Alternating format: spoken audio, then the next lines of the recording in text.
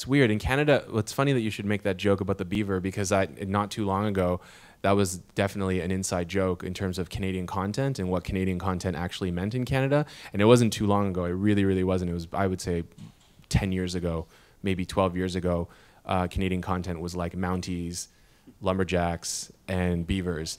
And now, because there's been like a huge lobbying and sort of equity uh, on the federal and provincial levels to sort of redefine what Canada, Canada cultural diversity is, which is essentially every other country in the world including Canada, um, because it's so multicultural in, in every major city.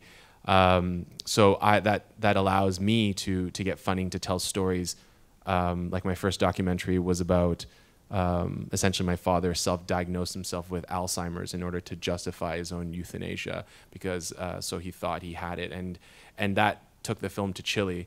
And so it was a sort of co-production with Chile and half of it was shot in Chile and half of it was shot in Toronto.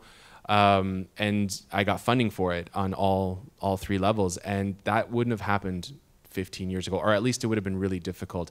And they would have been like, "But that's not a Canadian film." And so I think that's right now is being is definitely being redefined, and um, and what that diversity is and what that actually means. So it's a good time to be uh, not white in Canada right now. At least it's getting better because it, those stories weren't allowed to be told. Like we didn't get funding for those stories to be told, and I think it's like, I think it's a really great thing and a um, and a really important thing um, to to be able to tell those those uh, those those uh, stories from all over the world.